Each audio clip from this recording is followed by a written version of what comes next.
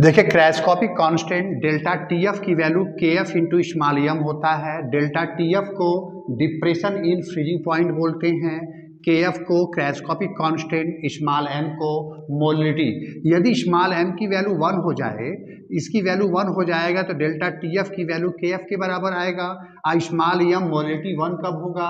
When one mole of solute particle is dissolve in one K G of the solvent when one mole of solute particle is dissolve in one K G of the solvent the depression in fusing point of that solvent is called cryoscopic constant